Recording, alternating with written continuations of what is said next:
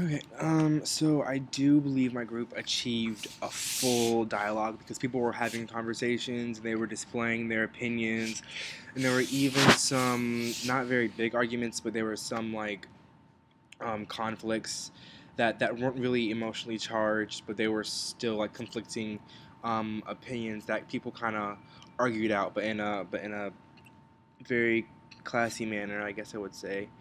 Um, my dynamics of the group is it was very diverse. You had people from all walks of life, different races, different ethnic backgrounds. Um, actually, there were. It wasn't really ethnically diverse because you had it was probably um, 90% Caucasian or white or whatever, and um, the rest of it were like minority groups, and so the ethnicity wasn't really diverse and neither were the races because it was um yeah. and were the voices?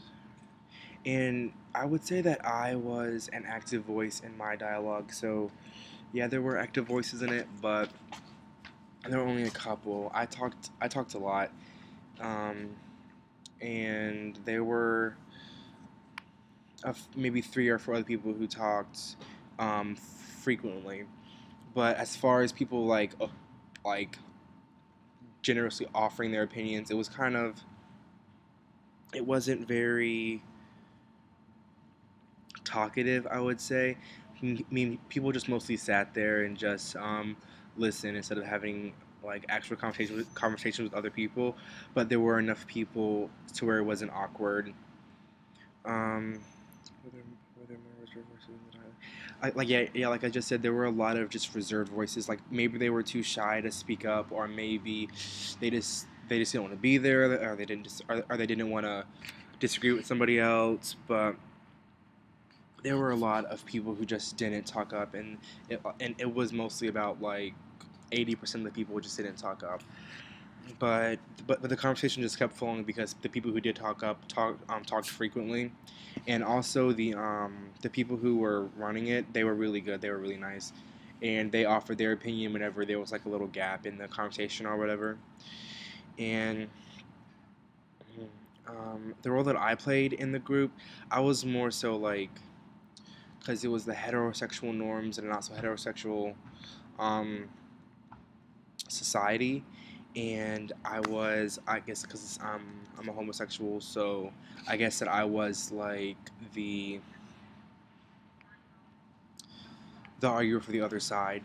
I was giving my side of the story and how I felt, and um, and I was the only one who was open about it, and which I really didn't face too much conflict when when playing the role that I was because it wasn't it wasn't a very emotionally charged group. So.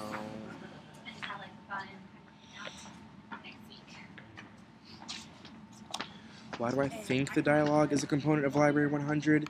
I honestly think because it gets students like communicating with one another, and it just gets us talking to one another, and it also opens us to to looking at other things differently than we would if we didn't go. Like it it opens up some minds that may have been closed before. And I do see it as a useful t- uh, like as a useful tool in in the university because it's like forcing us not to stay in our cliques and forcing us not to be like to enforcing us to not remain ignorant anymore I should say. Like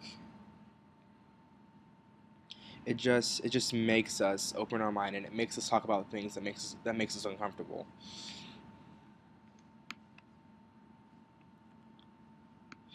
Um, but all in all, I enjoyed it because it allowed it allowed like me and my peers to actually have a conversation that wasn't academically related or anything like that, and it was just a good it was just a good conversation to have, especially coming in not knowing anybody.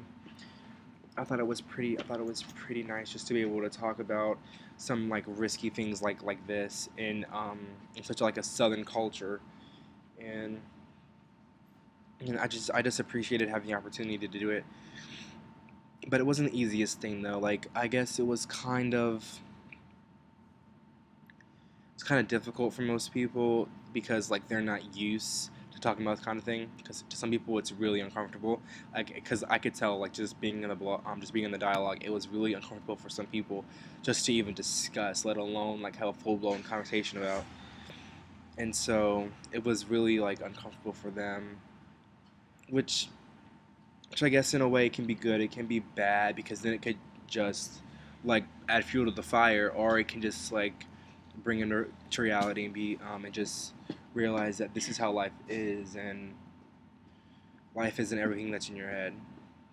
Um, well, in all, I liked it. I liked my dialogue. I liked my group. I loved my leaders. They were really, um, I don't know their names, but they were really fun to be with, and they were really talkative, and they really kind of led the conversation of what a leader should do. So, thank you.